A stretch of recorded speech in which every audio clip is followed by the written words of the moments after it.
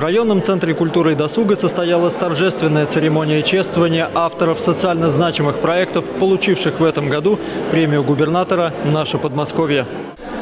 Многие из лауреатов знакомы жителям округа, ведь все занимаются общественно значимой работой.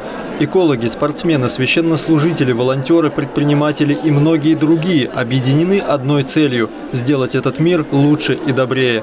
Председатель общества инвалидов Наталья Рящина вкладывает всю свою энергию в помощь особенным людям мы стараемся привлечь э, неравнодушных, щедрых людей, чтобы они могли тоже показать свою э, душу, показать, что они добрые, щедрые, заботливые, внимательные. Проект Светланы Лобановой под названием «Что ты оставишь после себя» заключается в том, что она бесплатно делает лечебные массажи детям из многодетных семей и занимается гуманитарной помощью доказать, наверное, быстрее всего своим родителям. Сказать им большое спасибо, что они меня такое воспитали. То есть моя мама сказала когда-то, что ты не можешь быть доброй феей, а я хочу доказать, что я могу ей быть. Также премией был отмечен проект Людмилы Лернер «Управдом на службе людям». В качестве руководителя Ассоциации председателей Советов многоквартирных домов она организует муниципальные форумы «Управдом», помогает жителям разбираться в вопросах ЖКХ и налаживает взаимодействие между населением и управляющими компаниями. Ленинский городской занимает первое место по вводу жилья. У нас за год прирост на 45 МКД. Э, мы проводили круглые столы, мы проводили встречи с жителями, мы занимались э, собраниями по комплексному благоустройству дворовых территорий. Мы проводили обучающие семинары про ЖКХ. В этом году это было второй раз.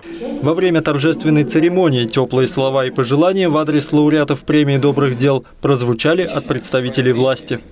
Мне очень приятно выполнить почетную миссию всех нас, поздравить с нашими достойными победами именно благодаря вам.